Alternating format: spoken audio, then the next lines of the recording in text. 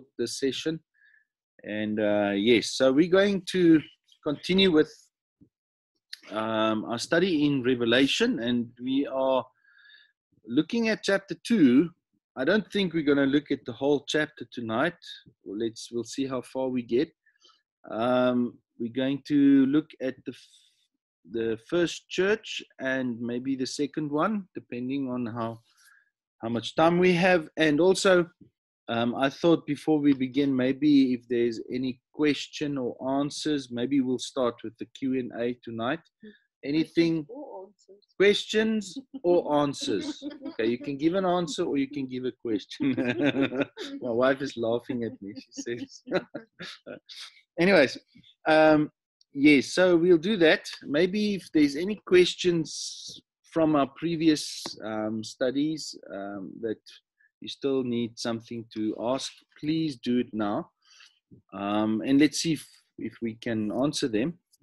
And then, then we'll continue. So if there's any questions from you guys, uh, I see my most active, interactive people online. They're not here tonight. So I'm going to encourage. Yeah, we're going to finish very early. no, I'm just joking. Okay, any questions? Any questions? Please do ask it now. Uh, maybe you have a different approach on chapter one that we did last week. Maybe something that I didn't think of. Um, you're more than welcome to share that with, with us tonight. Good evening to Maria and Jose. I see you also joined us.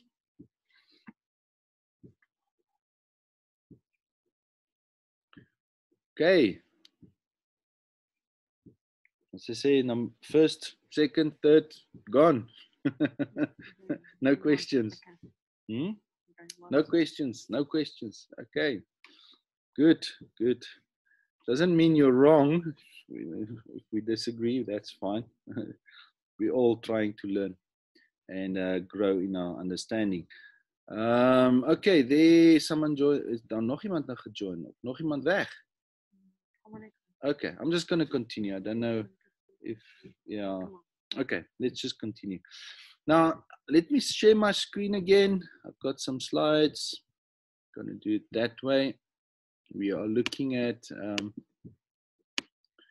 the book of Revelation. And just to refresh everyone's minds, uh, I did share this last week, the four ages that uh, we have in Revelation, chapter 1 to 3, mainly about the church um, age, chapter 4 to 19, it's about the tribulation and the second coming of Jesus. Chapter 20, it's about the kingdom age, and 21 to 22, the eternal age, which obviously is endless. Now, I, I just took this picture again of mine and just added the scriptures. I don't know what is that.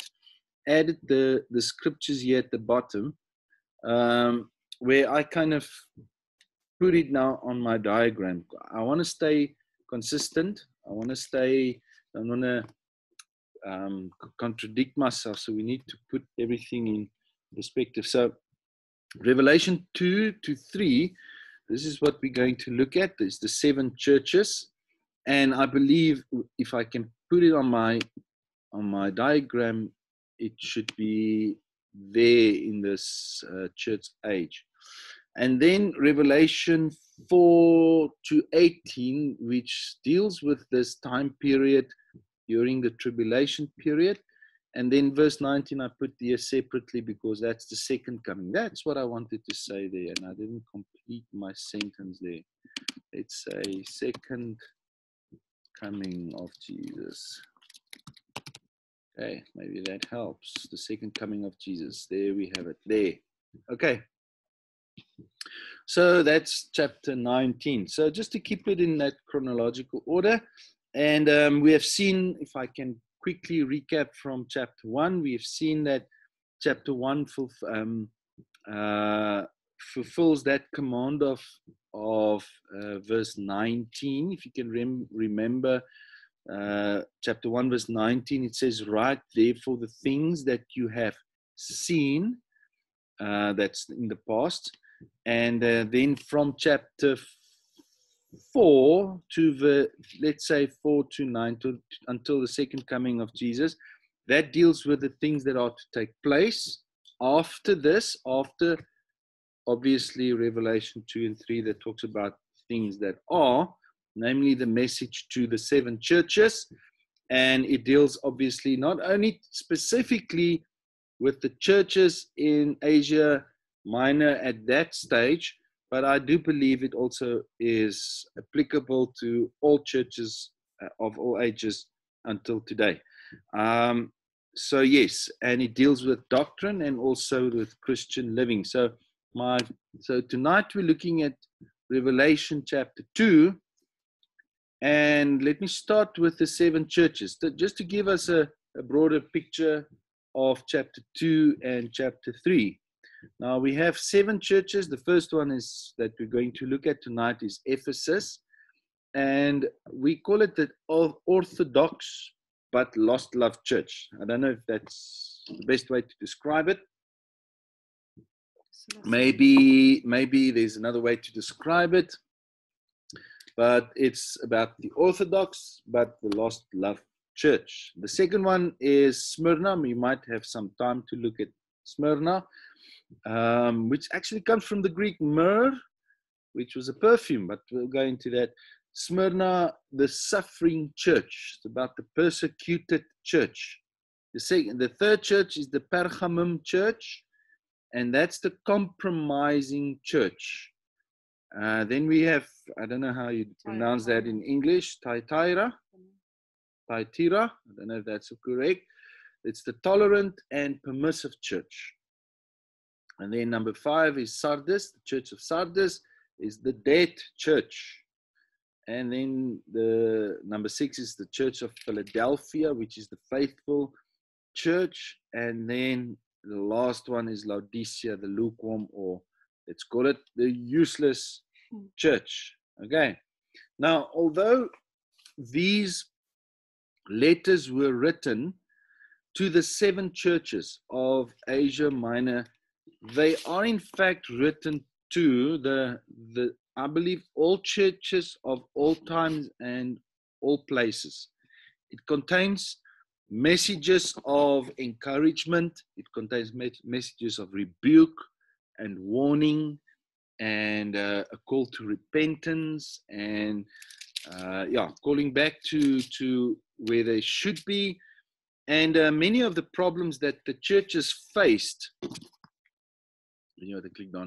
Many of the, the problems that the church faced, these churches face um, today, well, also today, has to do with negligence of um, Christ's instructions to these seven churches. So if you if you would would would look at the problems and issues that we have in our churches today, you would find that these seven churches that are described in Revelation 2 to 3 actually addresses those issues. And Jesus gave them commands, instructions. And because the church has problems, even in our day today, you would find it's because they do not obey Christ's instructions in for these seven churches. So it's important that we see that. That's why I believe it's all applicable to all churches of all ages. Now, now, there, there were other churches during that time, obviously, but these seven churches were selected because they these particular messages that they are that are addressed to them speaks to the spiritual needs of those churches, and at the same time, these messengers um, messages also addresses the spiritual needs of all churches through all of history and specifically today um, the needs, the spiritual need. It addresses those needs. And there, there, there is also a few, um, uh, let me, yes, few scholars or interpreters that, that says that these seven churches represents the chronologi- chronological development of church history in general from the beginning until today. There are some of those that believe that from Ephesus that happened in the apostolic period in general, in general, and it progresses to the climax that we do find in the Laodicea as the final apostate church before Jesus comes or before the tribulation starts.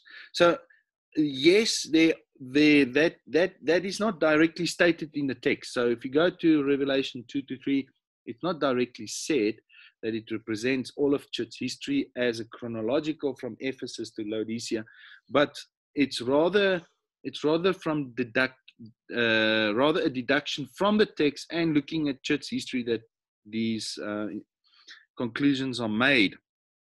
Now, there seems to be that remarkable progression that we see in the message, suggesting prophetically the movement of church history. And those who hold to this view, obviously, is the futuristic approach. Remember, last week we looked at the five different approaches, and the last one is the futuristic approach, the one that I adhere to. And um, we do accept that, and I do adopt that view. Uh, from studying other scriptures as well, it is clear for me, if I look at the progression from these seven churches, it is clear for me that things are not going to get better as the church history progress until the end. It's actually going to progress towards apostasy. It's going to get worse. It's going to get bad. Okay. And although the Laodicea, the seventh church, the last one, may represent the modern day church of the last days, there are also traits from the other six churches that you can also find in churches present, in the present in churches today. So you'll also find some of the, the issues that is addressed for at the first and some of the other six churches. You'll find it to also is addressed. You can also apply them today. But in general, we kind of view if Ephesus to Laodicea as this progression, you will find in history of the church also presenting some of the major traits of the church during the church history. Now, the structure of the letters, and I've put it up there. It's interesting if you, if you just do when you read each letter to the church, it has this kind of structure. Okay, the first one is the commission. The second one is the character of that church. The third, third one is the commendation or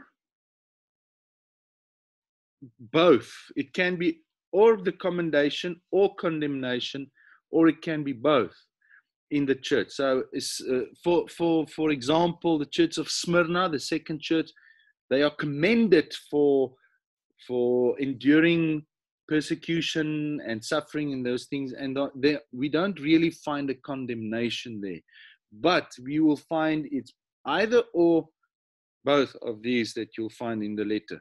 Now, and then there's the correction, obviously, and then there's the call and the challenge. So easy to remember there are one, two, three, four, five, six C's. Commission, character, commendation, condemnation, correlation, correction, call, and challenge. That's kind of the structure that you find in all of these letters. There are also some similar, similarities in all seven of these letters. They all begin with the words, I know your works.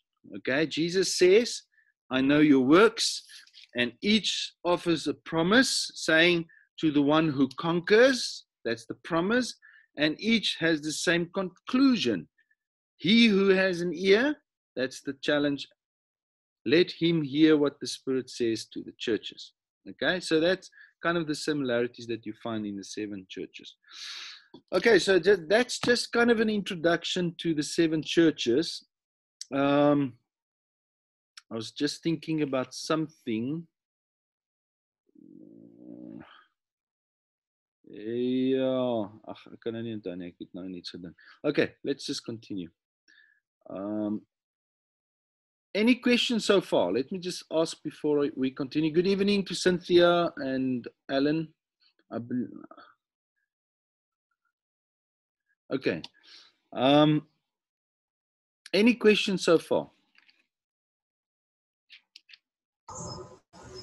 Hello, Rudy. Sorry we joined late. We had some power troubles here. I, I believe so, yes. Uh, I believe there were powers off there in Harties. Good. It's good to see. I'm very happy. Yeah, good. It's on record. If you missed the first part, you're more than welcome to watch it again. Okay, so we will look let's look at the first church now um, i think even with this first church there's such a great application for us today and i want to I don't want us to miss the message for us today.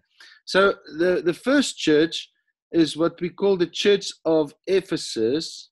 I don't know what we call it, but the Church of Ephesus, the Orthodox but Lost Love Church. That's just the description. You can describe it in a different way if you want to. Uh, the Church of Ephesus, the Orthodox Church, but also the Lost Love Church, and we will we will look at that. So I'm going to start maybe with reading all of the text. It's from verse 1 to verse 7. From verse 1 to verse 7, I'm going to read all of that, and then we will go into or everything that we learn from this. Now, verse 1 says, To the angel of the church in Ephesus, write the words of him who holds the seven stars in his right hand, who walks among the seven golden lamps. And then verse 2 I know your works. Remember, I said similarities between the letters. It says, I know your works, your toil and your patient endurance, and how you cannot bear with those who are evil, but have tested those who call themselves apostles and are not, and found them to be false. I know you are enduring patiently and bearing up for my name's sake, and you have not grown weary. Then verse 4 But I have this against you. That's the, so the first one part would be called the com, con, uh, commendation. Com, commendation. Commendation, we commends them for the endurance and for not bearing with falsehood and evil and things like that. Now, the second part from verse 4, we find the condemnation part where it says, But I have this against you, that you have abandoned the love you had at first. I don't know what the new lees gou vir my wat sê NIV verse 4. You have forsaken your first love. Okay, some of the translation says you have forsaken your first love. Now, literally, actually, it says the love you had at first. Now, we'll talk about that. Remember, therefore, from where you have fallen, repent and do the works you did at first. That's the command. If not, I will come to you and remove move your lampstand from its place unless you repent. Yet this you have, you hate the works of the Nicolaitans, which I also hate. He who has an ear to um, an ear, let him hear what the Spirit says to the churches, to the one who conquers, I will grant to eat of the tree of life, which is in the paradise of God. Interesting portion of scripture. Now, back in chapter 1, verse 13, you remember, and, and if you can rem- remember what John saw, he saw the seven lampstands. Uh, stands. He saw Jesus standing in the midst of the lampstands, and he was clothed with a robe, a long robe, and a golden sash around his chest, which we spoke about. This is the clothing of a priest or a judge. Now, and those two those two offices kind of is also explained, and we spoke about this last week. Jesus, our high priest that intercedes for the church, he's standing in the church, he's interceding for the church, but he's also the judge. And we spoke about the judgment that will begin at the household of God, 1 Peter chapter 4, verse 17. And that is what you find in all seven churches Jesus judging the church. Okay, Jesus in the middle of the midst of the church, judging the church, and if the church does not um, obey his instruction or his commandment, he removes the lampstand. That's what's happening.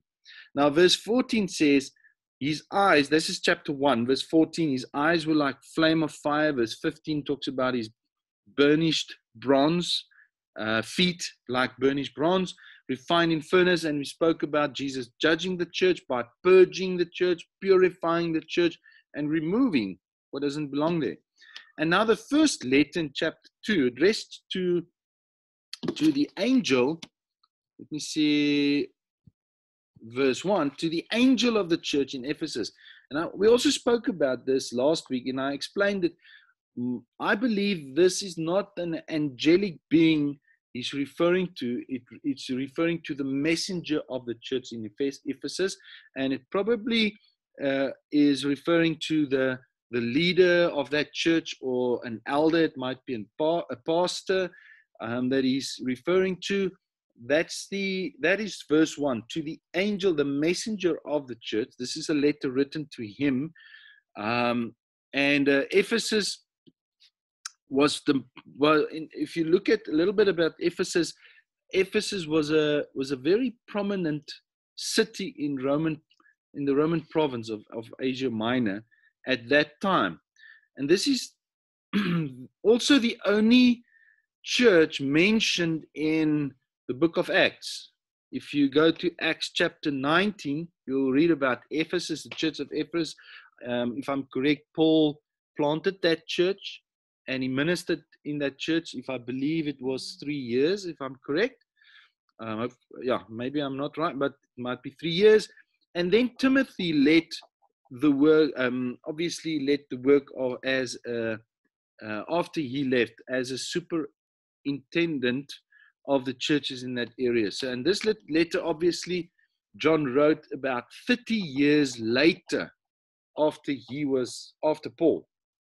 So, so you kind of have it, the, the church of Ephesus, you have this, I would say, the second generation uh, kind of setup where the believers there were the second generation. And he says to the angel of the church in Ephesus, the words of him who holds the seven stars. Remember, Jesus, verse chapter 1, verse 20, holding the seven stars, which is referring to the angels, the seven angels, which we interpret as the leaders or the elders or the pastors, the leaders of those seven churches, Jesus holding them in his right hand, and who talks among the seven gold lampstands, which is the church, the seven churches. And uh, so Jesus holding, and I think that that's that's also a picture of Jesus holding these leaders in his hand. Um, and this place where he holds them is a place of protection. He protects the leaders, but he also uh, it's also a place of authority, and it echoes what what John you can you can actually go to John chapter 10 verse 28 29 where it talks about not no one will pluck you out of my hand snatch you out of my hand it might also be argued about eternal security at this at this point but um, maybe I'm jumping a bit far from from the immediate context but uh, yes yeah, so I think that's what I see. Jesus holding the leaders in his hands, place of authority, place of, place of protection. And then he commends those this church, the church of Ephesus. He commends them for two things. He commends them for their doctrine and he commends them for their endurance. Okay? They did not bear with evil in the church. They did not bear with sin. They did not bear obviously with false doctrine. So I believe they did what John said in his first epistle. They tested the spirits to see if it, these um, are from God or not. And these two characteristics is so important for the church today. It's such a great need, I believe, in the church today. We cannot compromise on these two things. We cannot compromise on moral living we cannot compromise on sound doctrine. These two things very important. We must endure with patience. We must bear for his name's sake. And then I, I just looked up another scripture, Galatians 6, verse 9, that says, And let us not grow weary of doing good, for in due season we will reap if we do not give up. And, and I, I think that, that kind of describes the church of Ephesus, those who they, they did not grow weary in doing good. They did not grow weary in, in keeping the doctrines and, and sound doctrine. So those two things are very important when it comes to the church. Now, um, so you can say in this regard, the church of Ephesus, they served Christ well, but, but they failed in their lack of devotion. They failed in holding on to the love they had at first. So that's why I, I, I said maybe I don't know if, if it's going to change. You know, that's verse four. The meaning of it, because some of the translations says they love the first love. I think the idea rather is they did not lose their love, but they did not have the love they had at first for Jesus, for, for Christ in the beginning. The love they had for him, it grew, it grew cold. It, eh, their hearts became, uh, you, their hearts cooled down, if you can say it that way. And um, yeah, so it doesn't say they abandoned the love. It says they abandoned the love they had at first. And it doesn't say abandoned faith, which in fact it can lead to a church that completely abandons the faith and also, as we see at the end, can be removed from their lampstand. Stand. So it is not a it, it is not a lack of love or a lack of faith that is that is um, addressed here. It's rather the matter of a heart that was cooling down, their passion that they had for for Jesus in the beginning. Their love wasn't that intense as it was. And uh, Paul actually wrote 30 years earlier, 30 years before Revelation 2. He wrote in um, Ephesians. Do I have? Let me see if I've got the scripture here. Ephesians 1. He wrote in Ephesians 1, verse 15 and 16, he said, For this reason, because I've heard of your faith in the Lord Jesus and your love toward all the saints, I do not cease to give thanks for you, remembering you in my prayers. So Paul commends them and say, This is a church that that was faithful to Jesus. They loved the people, they loved the saints. That it was a characteristic of the church but apparently, 30 years later, that's not the case anymore. Okay, they kind of lost that first uh, that love they had at, uh, in the beginning. So, although they continued in their faithfulness regarding doctrine, continued in during hard, yeah, not specifically here, but enduring, ev- uh, not bearing with evil and and moral error and, and theological error, if you can say it that way, although they were they were very strict on those things, they lost that kind of passion. The, their love for Christ was not the same. And um, and here's the issue: when your heart cools off, in it turns into spiritual ap- apathy, if I can use that word, and it erases all Christian testimony it, it, it, it, it, it turns into spiritual apathy and it, it erases Christian, um, your testimony. I just want to see Aubrey wants to say something. Aubrey, you more than welcome.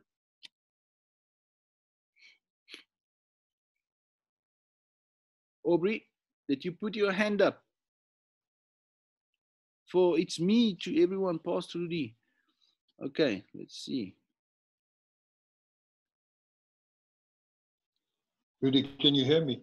Yes, I can hear you. Aubrey, you can continue. All right. Rudy, it seems to be some of the conflict that these people had was the fact of um, the silversmiths and the idols, uh, where they'd used the silver and uh, to do the idols, that the production seems to have uh, wavered because of the Christians' statement saying that these idols were not worthy of worship. And also they'd, they'd lost some um, what is it support in the fact that when the when the guys were made Christians, they stopped supporting um, the silversmiths and worshiping Diana. Yeah, that, I think I think you could. I didn't go into all of the history, but you are correct. no, there's a lot. Hey? Yeah, yeah. There's so much to. I think there's a lot of there's a lot of speculation around what, and he talks about, and we'll get to that, the Nicolo, what Nicolaitans, Nickelodeon. who they, yeah. who, who were they? Because there's no, there's no real history data or facts that we have about that. Although Nico was one of the, one of the um, uh, believers in Acts, but that was 30 years earlier. Number one, and some believe they were a sect group well, obviously, I think there is some some data that mm. explains it was a sect, but exactly what the doctrines mm. were, we don't know. Actually, went to see what John MacArthur says. They only give this is some of the suggestions, but they don't really know. Uh, and, but it is believed that mm.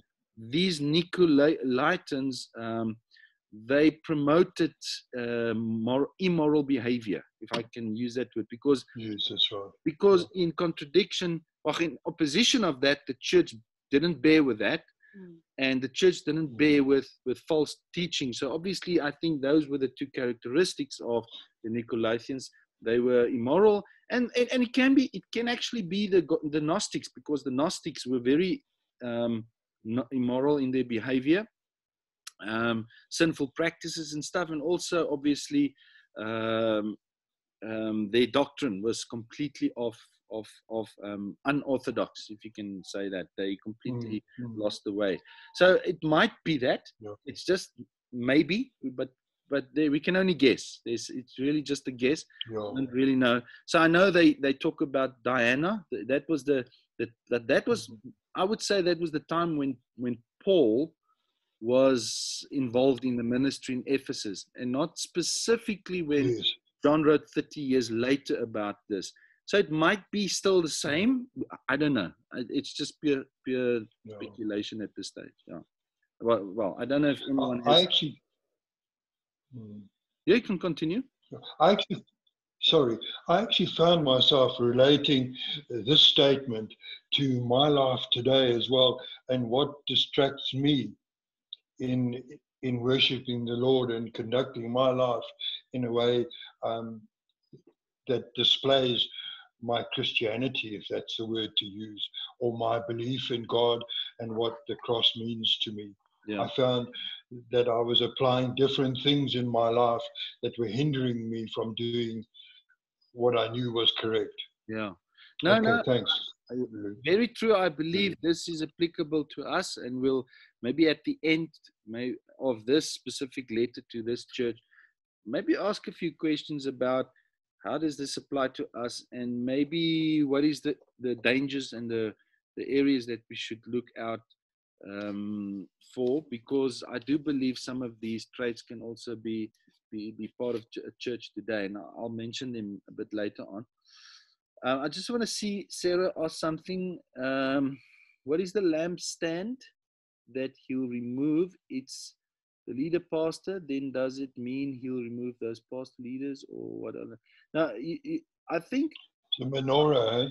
yeah, I'll, I've, um, uh, Sarah, I think I'll explain that. I think the lampstand not necessarily mean um, salvation. I don't want to say that. Uh, yeah, I'll rather say the testimony it had because a lampstand. What was the purpose of the lampstand? The purpose of the lampstand was to shine forth Christ's glory. Christ standing in the mi- midst of the seven lampstands, he's shining bright, and the church is supposed to shine that light and their testimony was rather removed. And I'll, I'll explain to you why I'm saying that. Um, so, yes, that church obviously probably fell away from what the real definition or the biblical definition of a church should be because a church is the place where Christ's glory must be manifest. And if they're not manifesting that glory, one could argue that the church in general, I'm not talking about individual believers, I'm talking about the church in general, that church probably lost their they were removed they're not testifying about about jesus anymore they kind of became an apostate church if you can say it that way um, so that's that's the that's the danger and that's the warning that that, that jesus gives so let me just quickly continue um, we'll please if you have any questions hold them we'll we'll look at them um, also later I might, I might answer them uh, while we're going through this. But please, you, you're more than welcome to to stop me, interrupt me, and uh, ask your question.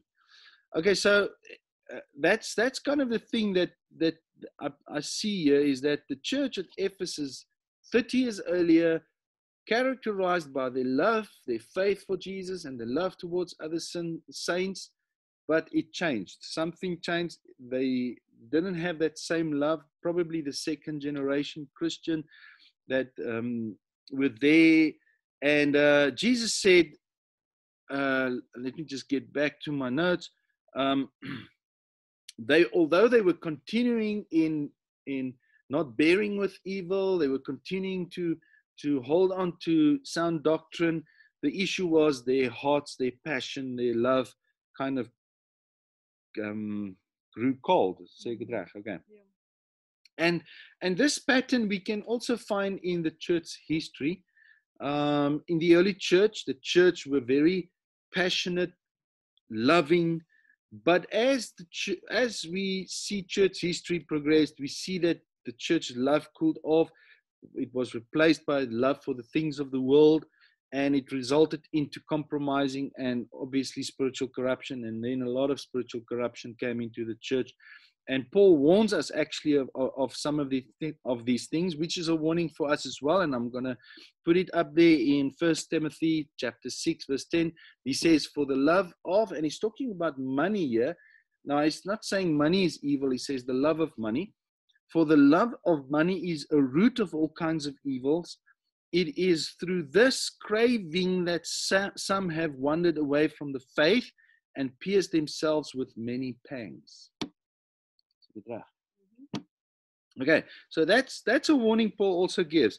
When a church's love for Christ is replaced by, and next, I know Paul is saying the love for money here, but I think it can be anything else. If your love is replaced by anything else other than Christ, then that is the direction it will go. It's a direction of wandering away. And I'm not, and in a church in general that loses that love for Christ is the center point of everything. And we'll get to the seventh church, Laodicea, but Christ is not even in the church, he's standing outside the church, where, um, where they've wandered away from the love for Christ, that that church can move away from, from, from the faith because of their love for other things. And, um, and people's love for the things of the world will lead to wandering away from the faith.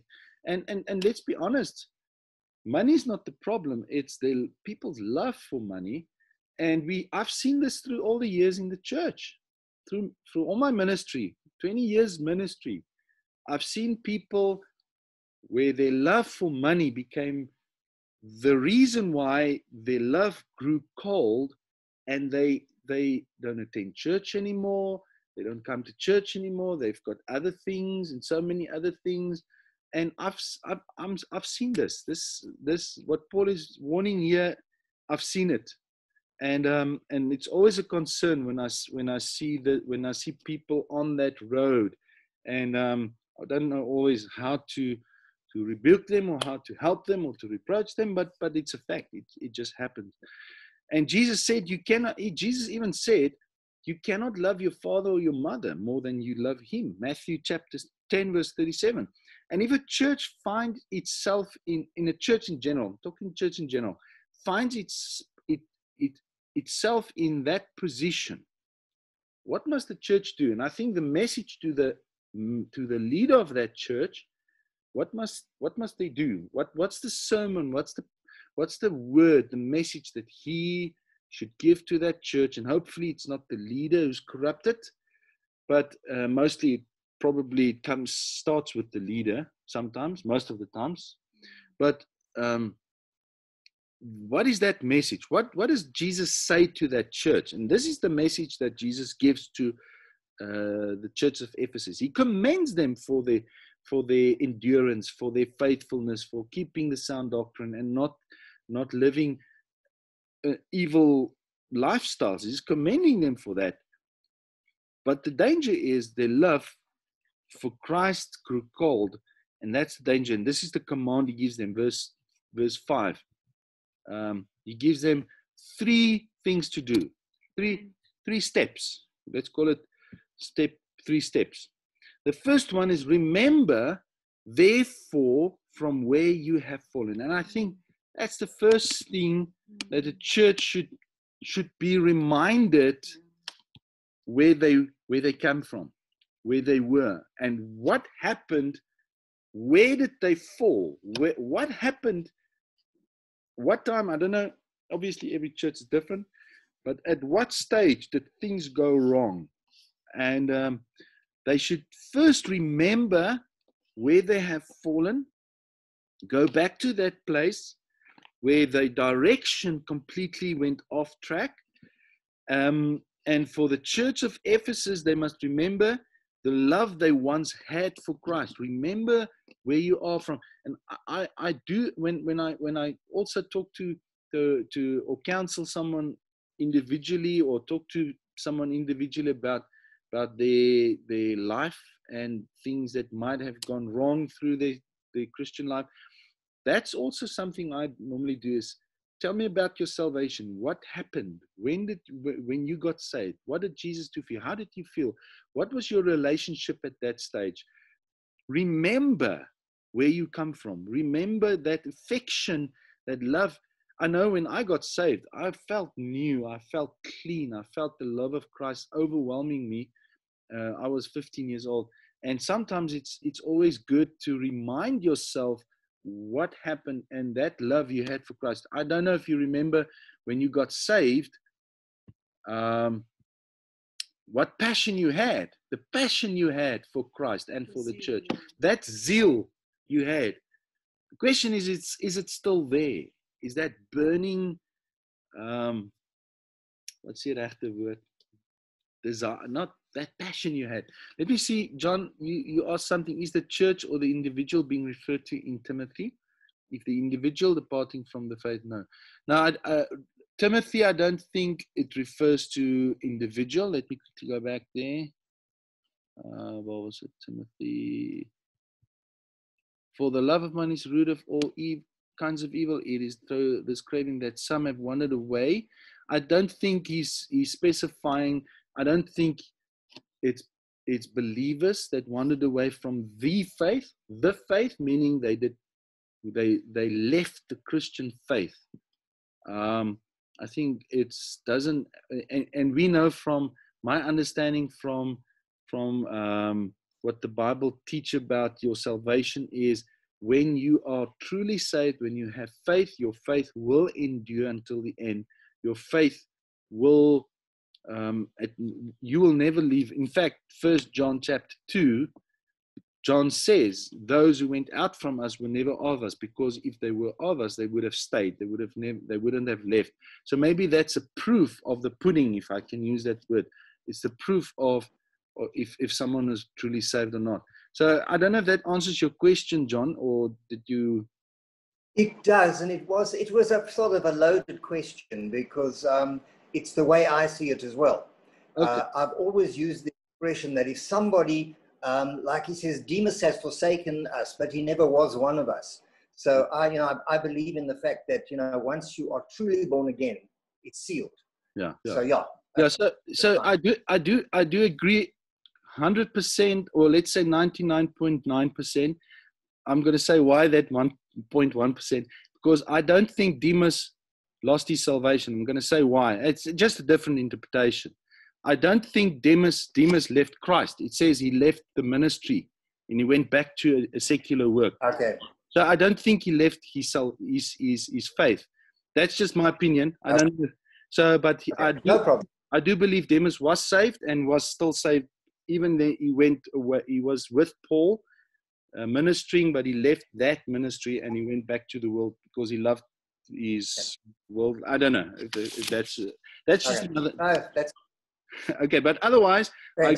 I agree completely that when you're truly born again, there's no way you can apart, uh, depart from the faith. I, if you depart from the faith, you never had it. That, that's my opinion. That's or not my opinion. That's what I believe the Bible teaches. Um, Okay, thanks. Maria, you says the NIV commentary explains lampstand nicely. Okay, please explain it to us. Lizelle, you have a NIV. Tell us what does it say?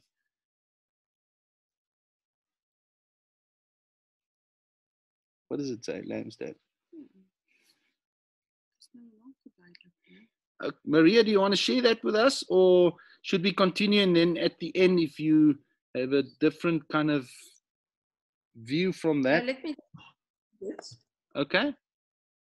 Um, for Jesus to remove your lampstand from its place would mean the church would cease to be an effective church.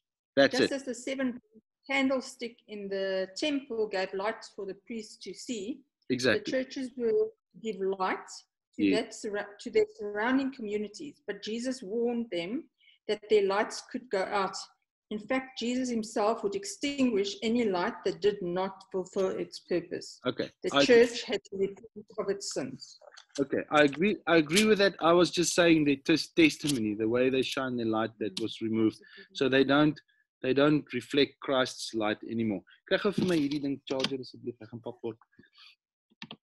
I don't want my notes to go down. Okay, so I think that's I think I agree with that commentary. Um, that's basically it's not it's not the believer that is removed and now is unsaved. It is the church, the testimony, the light they shine that is removed. They're not shining the light anymore. They're not a testimony for for Jesus. They, as you say, they're not effective anymore. They they don't shine Christ's light anymore. So I agree completely with that.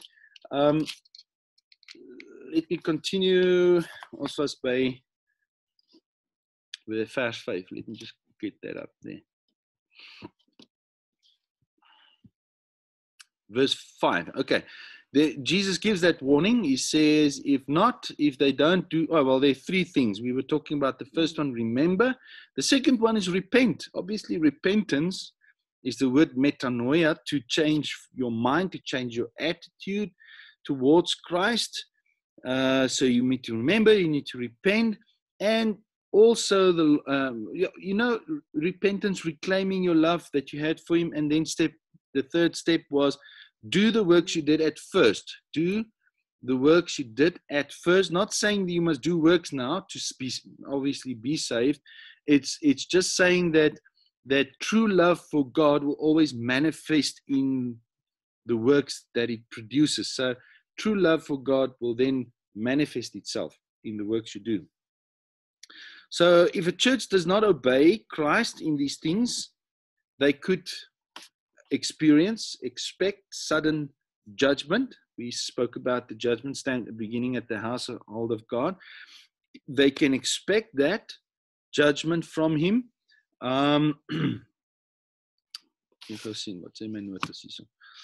and uh, obviously the removal and this is what happened this is what happened to the church of ephesus. It's sad but true.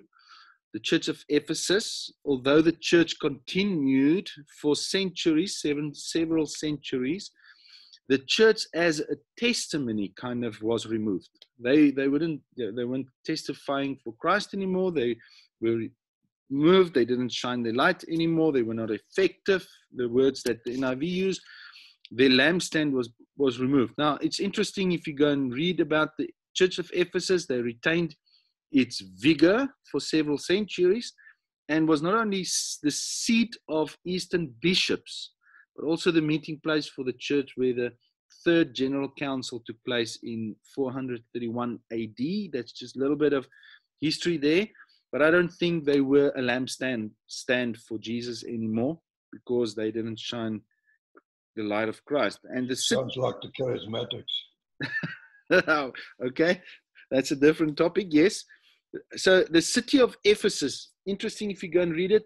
It's where Turkey is today, modern day Turkey.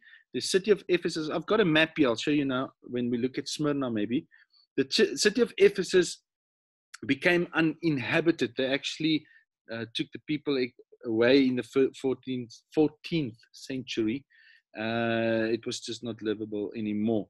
Now, if you go to Revelation 2, verse 6, it says, Yet this you have. And again, he commends them. He says, You have this. You hate the works of Nicolaitans. And uh, it might, might be connected with the first commendation with moral living and with sound doctrine. And the Nicolaitans didn't have those two things. And uh, which, in fact, Jesus says, I also hate. Now, I would say the works, he hates the works. It's not saying he hates people. I do believe Jesus, God so loved the world that he gave his son to die for the world, and he died for us while we were sinners. And, but he hates the works of the Nicolaitans. And, and this is also true of G, what Jesus say, is saying. So, Again, they are commended hating the enemies of truth, not, not, not the enemies, obviously the works of the enemies. And there's much speculation about the, and as you said about the Nicolaitans, we don't know. Interestingly, Nicolaitan comes from two words. Mm-hmm. It comes from the word Nike, Nike. You have Nike Takis. Oh my word. Okay, I don't know my brother Niku. His name comes from Nike. Yep. It? Yep, it does. So Nike means victory or conqueror. Okay. Uh, that's where the taki comes from, Nike, mm, victory, the brand, yeah. the brand. And the second part, Lightens, come from Laos. We also Laodicea. We'll get to that same word. Laos meaning people. So they were conquering the people. They would, and in fact, the, in, in the context, they were destroying people, okay, their lives. In, and uh, in the letter to the church of Pergamus, if you go down to chapter, uh, in chapter 2 to verse 12, we also find it again with the church of Pergamus, where it says, um, let, let me read it. I've got it, got it here. Verse 14 and 15. It says, But I have a few things against you. This is the church of Pergamus. You have some there who hold the teachings of Balaam, who taught Balak to put a stumbling block before the sons of Israel so that they might eat food sacrificed to idols and practice sexual immorality. And then there's 15. So also you have some who hold to the teachings of Nicolaitans. So he, he, he, the church of Pergamus obviously had the same problem. They were holding on to the teaching, so that was a false teaching, basically. Um, I would think maybe it had something to do with the Gnostics, because that was the, the era of the early church. And um, they were holding on to that. And then verse 7 says, he who has, go down, he who has an ear, let him hear what the Spirit says to the churches. To the one who conquers, I will grant to eat of the tree of life, which is in the paradise of God. Now, who are those who conquer? Who are those who conquer? Um, First John chapter 5, verse 1. Do I have that? No, I don't have it. First John chapter 5 verse 5 says, Who is it that overcomes the world except the one who believes that Jesus is the Son of God? So, in other words, those who conquer in yeah, here in in chapter 2 obviously are those that obey Jesus command, they repent, they have their love for Christ, they conquer, they overcome the unbelief and sin of the world they overcome the world as promised, and they will also have the right to the tree of life. We will find that also in Revelation chapter 22, verse 2.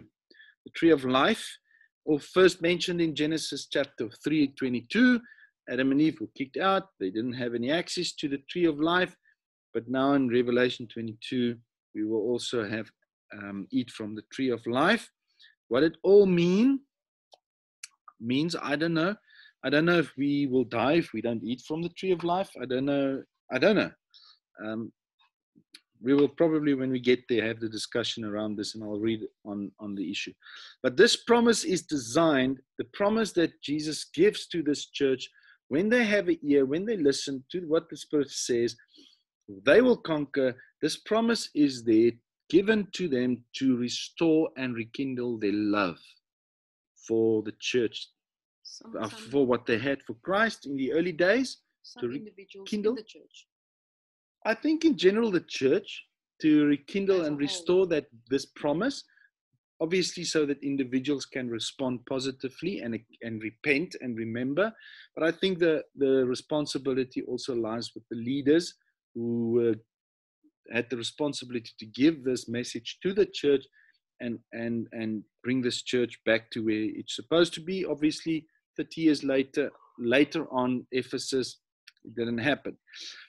Now the lesson. Let's let's talk about the lesson application for us. I, I, I was just thinking when i read this i was thinking of martha and mary.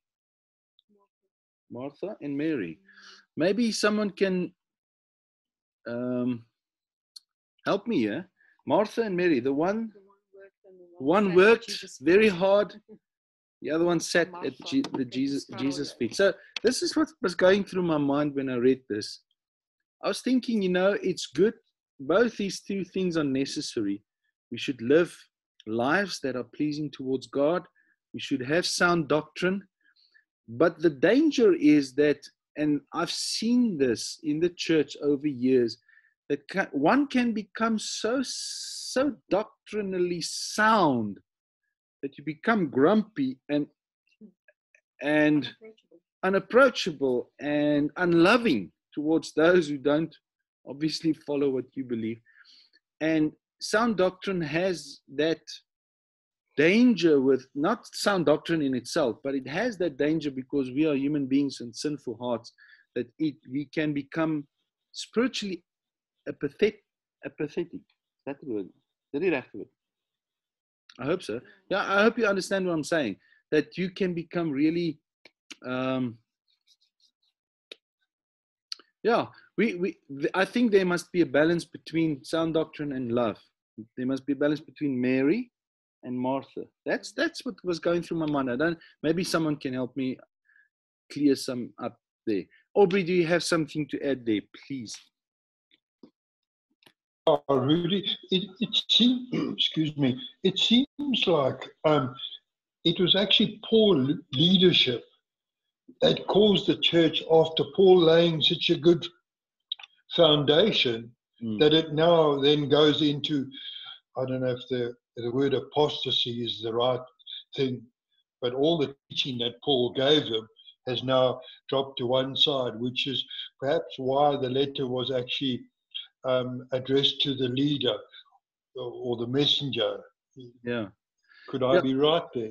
Yeah, I think the obviously the leaders or leader that was responsible in that stage uh, for the church, they, they had the responsibility um, to preach the the the, uh, the, the correct message to the. Yeah. But but what mm. what I'm trying to say is is we should be careful that we okay. can become so doctrinally sound that we love we we forget about no earthly the good. love for for Christ. And and I think churches maybe I'm just putting a trying to to sketch a problem because I've seen it in churches I don't know how to put it in words. I've seen churches that mm. that that yeah, only fall one side. They've got the doctrines right they've like Ephesus but when it comes to worship and love for Christ and loving other people they become so so uninvolved in people's lives. They, it's only about truth, about doctrine. It's only about you, you're not allowed to sin. It becomes a, kind of a very legal thing, legalistic thing. But but when it comes, and then you have churches that falls the other way. They don't want the doctrine. They don't want sound doctrine. Oh, but it's all about love. It's all about love, and they love people and they care for people and do all these wonderful works. That is also good. I think what what I read from this is we need both we need both. We need sound doctrine. We need to talk, we need to preach about moral living. We need to preach about sin and the consequences of sin. These things are important. We need to to not we, we cannot tolerate sin in our lives and in the church. We cannot tolerate any false doctrine. But the other side is also true. And I think there's actually not two sides. It's the same, should go together. We should love our brothers. We should love Christ with all, we should have that passion and love for Jesus. And I think both is important. So I don't know if, if that idea sits with you or or you have anything to add there, but, but that's kind of the thing that was going in my heart when I read this. Yes, we need to sound doctrine, but we must be careful that we lose our love for Christ or we grow cold in our love for Christ or or grow cold in our love for one another and our brothers and sisters. So that's just what, what I was thinking about when I kind of uh, prepared this. So, John, I don't know, you unmuted yourself. Do you have something? No, I'm just going to. We, we used to have an expression. Sorry, my Sorry. dogs are playing while I'm. don't worry. Um, we, we had an expression that used to say that some people became so heavenly minded that they became no of no earthly good.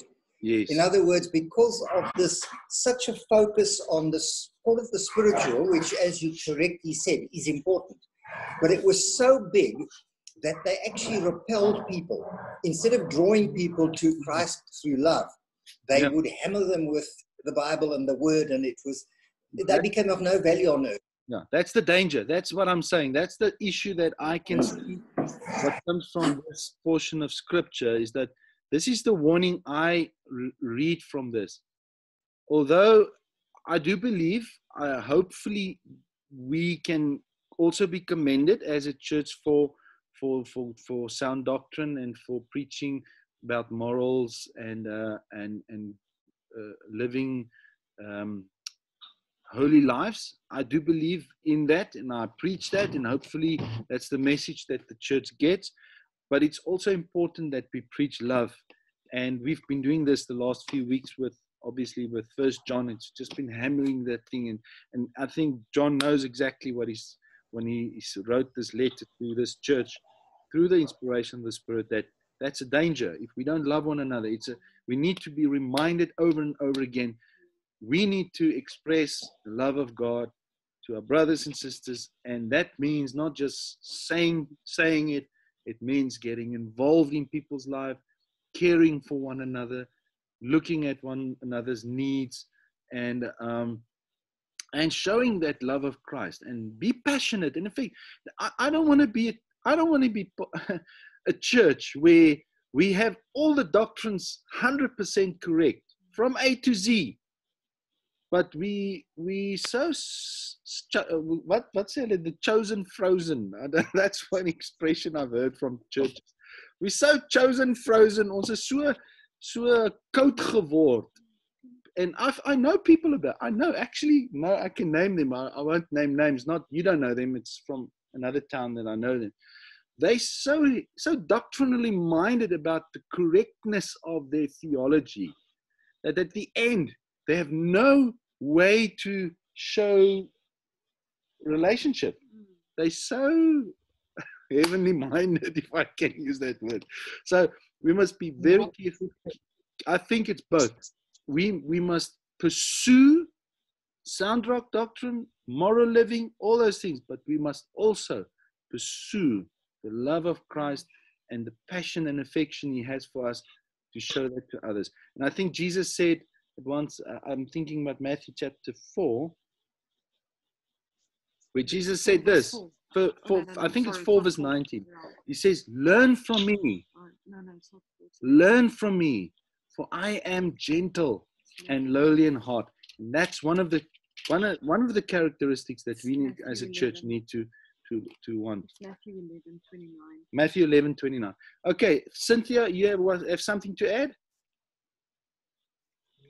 Yeah, Rudy, you started touching on it. I was just going to say there's a saying about being so earth, so heavenly minded that you know earthly good. Yes. yes, John John said that. But, yeah. We, uh, we, we must be yeah. we must be very careful. Yes, we need sound doctrine, but not to the expense of the love for other brothers. Uh, and I'm not playing the one against the other. I think both must be together. If you don't have sound doctrine, you only have love, love, love, then you fall into this category of of works working walking on the soft paths just it's it's love that is selfish kind of thing I just want to have good relationship with everyone and doesn't matter what the truth is. I don't care about the truth as long as I love you and you love me kind of thing. It becomes kind of a very new age thing. But if if we only have doctrine and all those things, it can become so hard-headed and so stubborn or um uh, ek weet nou nie wat se woorde mag ek gebruik in Engels cold towards other people. I think they must be together and that's what I think this message is from this church that Christ wants for us. Okay, the Loaf family's got a hand up. One of the five or six of you listening, you can talk.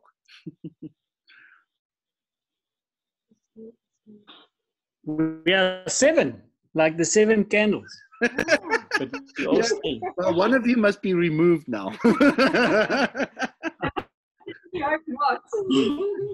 Definitely not. Um, yes. I, I agree. You, you, know what you're saying is is we should have love and good doctrine. It's the balance of love and faith. Yes. But but the one problem with that saying about being so heavenly minded that you have no earthly use, it, it can be interpreted that Christians must be a little bit worldly as well. Yeah, no, which I, I think is that, the wrong interpretation. The, yeah, no, I don't think we must be hundred percent for Christ, yeah. but but both in love and in faith. Yeah. No, I, th- I don't think that and, was and another saying intention at all. I think it. Was, yeah. We all understand what it means. Yes. Uh, another way to say it is to say that, that if you're truly in love with heaven, you will be truly useful on earth. Maybe. Yeah, I like that statement. Oh, yeah. yeah, no, that's good. Thanks for that. Thanks for Aubrey, you still unmuted. Did you want to say something? No, I'm sorry. I forgive you, Aubrey. Rudy, I I did. Yes. Um, in, in terms of um, being of earthly use and loving each other and stuff, sometimes, and, and I think this is why it's so important that it's the whole church together, is that the needs of the earth and and what we experience down here can wear you out. Because it's almost insatiable. Hmm. Yeah. And you you get tired and i think sometimes that's why the the love cools down or gets cold Yeah. Yeah. um, and that that's why we need each other because we need to be able to go to each other for refreshing and we need to for encouragement and for so, others to stand up when others sit down Yes. and to, to work together as a body Okay. So um, you you just opened my thoughts. Now I'm gonna read the scripture to you. Thanks for sharing that. Um, it's in Hebrew chapter ten. Let me read that. I'll share my screen there. See if I can make it bigger. I just have to look for that scripture. Um,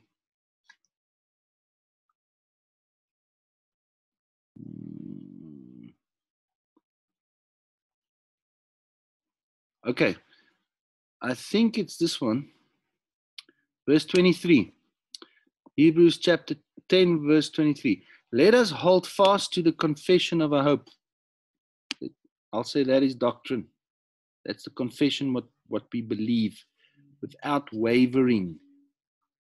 For he who promised is faithful. So I would put that in the category of, of, of doctrine to confess our hope. What do we believe? Um, and then the next verse he says, and let us consider how to stir up one another to love and good works. That's the second part. Okay, so thanks for for uh, pointing me. Maybe the Holy Spirit prompted me to share this because we need to stir one another up in love and good works. And ons as ons mekaar moeg maak, moet ons mekaar moeg maak met dit. But we have to stir one and and how do we do this? How do we do this? We we actually spoke on this this morning in the ladies. Okay, Lizelle, yeah. Um, the good deeds that are, are required of us, and it's interesting. He referred she referred to to Hebrews, where Jesus, as our high priest, he sat down at the right hand of the Father when the work was done. We Mm, don't get to sit down yet because our work is not done. And Yeah. John says, as long as it's day, let us work. And um, in, I think it's in 1 Peter, he says to the church, I'm, I'm not sure I'm trying to find that one, um, where the church needs to equip us for good works. Yes. Okay, so let me continue. Great eye fancy. Uh, it says, let us consider how to stir one another to love and good deeds. How do we do this? 25. Not neglecting to meet together as is the habit Mm. of some, but encouraging one another, and all the more as you see the day draw near. Mm. So it's such an important thing. You cannot neglect the coming together of believers. That's where I've seen through the years where people grow cold in their hearts. They start neglecting the coming together. Let's talk about church meetings and maybe a Bible study here or there, and it becomes less and less and less. It becomes a habit. Maybe once a month I would not go to church, then it becomes twice a month, then it becomes once a month that I go to church, maybe when we have communion, and it just becomes this habit. And in that, we are not, we need to understand that coming together when we meet together as church is not just about singing and listening to a sermon. It's about encouraging one another, ministering to one another, looking people in the face, seeing people, other brothers and sisters, and say, Hey, how are you doing? What can I pray for? What are you doing? Let's stir one another in love and good deeds. That I believe is what church is about. And if if people start, uh, we uh, the pastor that I was used um, was in Rustenburg with. He he had this expression always. He said, "Some people have a knit, one slip, one attitude. Knit one, slip one. No, knit one go is when you hekel, under the when knit one, slip. Some people think about shirts like that. They knit one, slip one kind of way. I don't think that.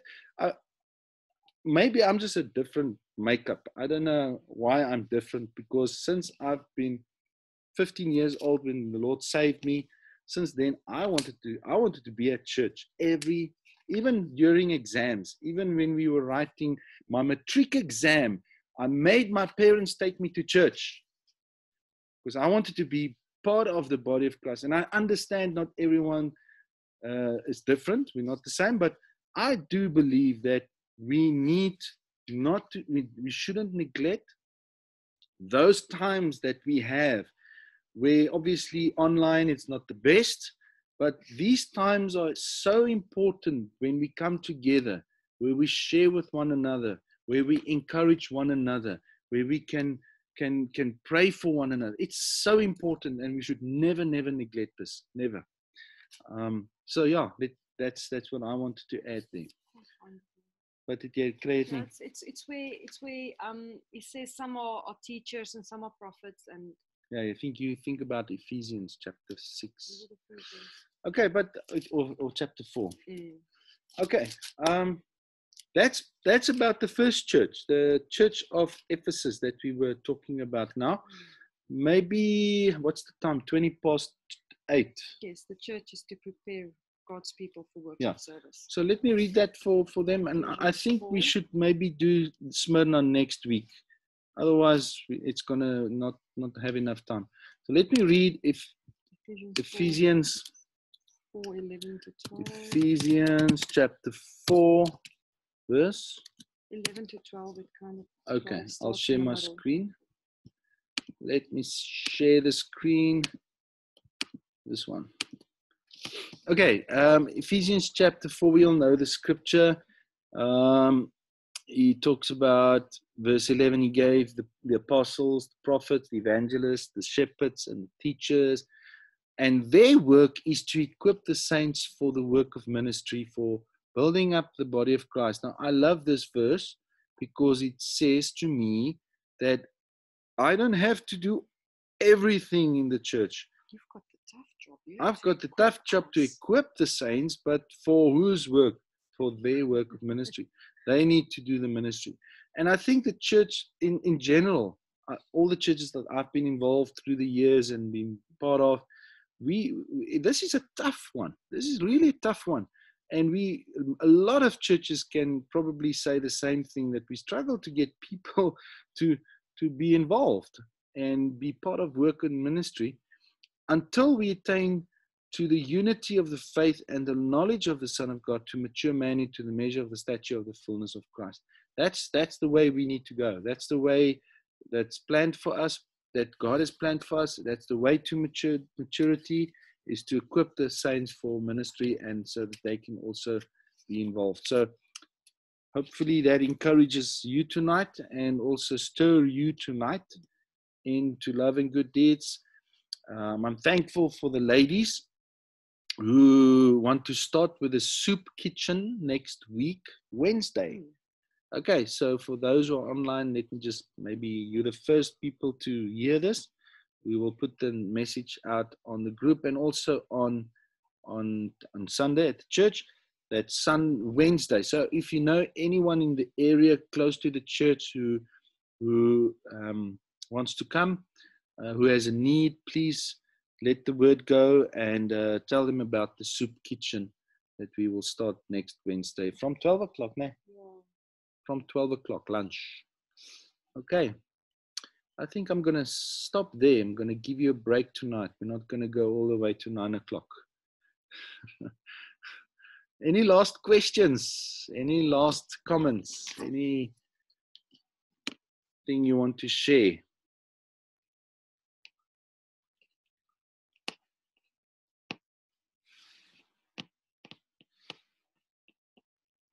Nobody. Are you all good? Okay. Um okay, daar het ek een thumbs up. Thank you. Okay, so um let's then end this with a prayer. um, ja, ag gee hulle so 'n bietjie af vanaand. If I start with the Church of Smyrna, it's going to go over nine o'clock. We're not going to finish with that one. So let's just rather end it here. Go and read the Church of Smyrna. It's the suffering church from verse 8 to 11 talks about suffering they are commended for this for their the way they endured suffering and trials and, and and those things tribulation and the way that jesus encourages them by showing saying to them i know what you're going through and the way that this letter is written it's it's just good um, how you can also encourage those who are going through uh, suffering and difficulty um, that's smyrna smyrna also uh, it's a Greek word that refers to myrrh. Myrrh is a perfume that was used. Uh, it was used in in the temp- tabernacle where they use it as holy anointing oil. It also used for bridegrooms. Bridegrooms used it. There's actually two scriptures about this, and I'll share that next week yeah i'm not going to say more than that and then maybe if any one of you want to go and read or can google that or have a book on it uh, polycarp the one of the, the martyrs in the early church that was written about through by i think the church um, early church fathers wrote about him polycarp a very interesting story uh, so you can go and read on that and we'll refer to him next week so i'm not going to go we're not going to end before 95 start now. So let's rather not continue there. Urs. Yeah, just something came to my mind now in terms of the first love, which uh, another aspect could be that uh, at the beginning when I came to to know the Lord, I I was very much wanting to share that with other people. Mm. So that is possibly also one of the things that that we can lose. Yeah, yeah, yeah. That that you want to go and turn the whole world upside down when you just say, mm. I know that, and sometimes we do stupid things and say stupid things because we are kind of uneducated in the Christian faith at that stage. We say dom goeders to people, but sincerely, you want, you know, you want to tell people about what the Lord has done for you. And that's why I believe also discipleship is such an important part of the church. Discipleship is where we take a new believer and and teach him and and journey with him through his is is spiritual growth to maturity and uh, we need more disciples in the church that disciples young the young generation. And i think that's happy that will happen with any church. If the church can go through a, a very high peak of of kind of spiritual revival or whatever you want to call it but that second generation kind of it fades away and the, and the children that is brought up they are not they kind of we neglect them and we shouldn't. They, we should they should be spiritual fathers that look after the spiritual children and teach them and and help them to grow spiritually. And that's kind those are the things that we we should address. And i do believe that is what discipleship mean and what we should do as as mm. making disciples Proverbs 19:2 says, "Zeal without knowledge." Yeah, yeah. Okay, you've got that scripture. Zeal without knowledge. Proverbs. Proverbs 19 verse 2. 19 verse 2. That's what we all have when we just saved. Proverbs 19 verse 2. 2. Zeal without knowledge. Enthusiasm without Enthusiasm. Anyways, let's end it here. Um, if there's no request or nothing, we still think of of of um, Urs and Esther is gonna fly Friday evening. Friday evening, and uh, may you have a good trip. May there not be no hiccups and uh, struggles. Hopefully, you're not in quarantine that side. And, and enjoy. Well, according according to the information, we are not. Okay, hopefully, let's hope so, and enjoy it. Enjoy it. Be safe. Take take care. We'll probably Thank see you. you. still logging in on, on online. Are you going to still log in on church services and also the Bible studies? Yeah, yeah. Okay, so yes, just I hope that you get the time difference right. So you log in and nobody's there. Like. Okay, le- let's let's pray. Let's let's end with prayer. Father, thank you for this time that we could share. Thank you for the word. And Lord, there's one thing that you desire for us. It is a, to be a church that that is the carrier of the truth, that holds the truth, that preaches the truth, that um, that rightly divides the word of truth as um, servants that are not be to that are not to be ashamed of of how we treat your word and how we preach your word and how we share the word of God. Help us, Lord, also to to not be not be um, tolerant when it comes to sinful practices and, and and moral issues. That we will not tolerate it. That we will will seek um, holy living and lives that please you. But more than that, as we've listened to this um, this this this letter that was written to this church, that we will not forsake that love that we have for you, and that we will hold on to that love. That we will we will pursue to love you more. This relationship, it's not just being know, knowing the truth, but it's also being in that relationship with you in, and that intimate relationship we have with you, so that we can grow in our love for you and also for the church. Lord, that is what we desire. And thank you for this word that encourages us, that that um, also helps us to see the, the spiritual need in our own lives and also in the church.